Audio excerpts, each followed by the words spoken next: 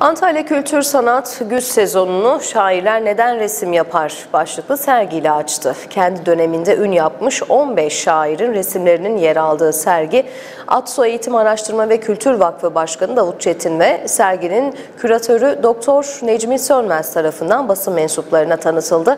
Davetliler tarafından da tam not alan sergi pazartesi hariç her gün 11 ila 19 saatleri arasında ziyarete açık olacak.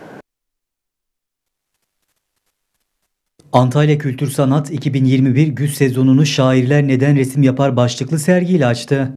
Küratörlüğünü Doktor Necmi Sönmez, tasarımını Ulaş Uğur'un üstlendiği sergide Tevfik Fikret, Arif Dino, Nazım Hikmet, Oktay Rifat, İlhan Berk başta olmak üzere 15 şairin resimleri yer alıyor.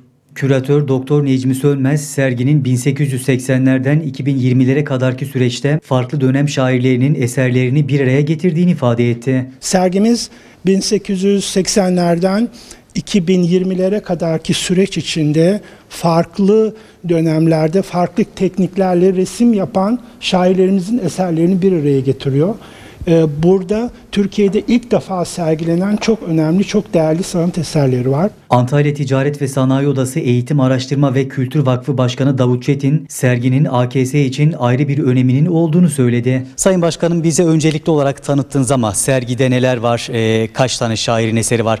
Sizden dinlesek neler söylersiniz? Bugüne kadar birçok sergi yaptık burada ama bu sergi gerçekten en özel sergilerden biri. Şairler tamam şiir yazıyor. Niçin resim yaptığında buradaki sergiyle çok daha iyi anlatmak istiyoruz ve buranın başka bir özelliği de bu seçki 126 tane orijinal eser Türkiye'de ilk defa burada sergileniyor.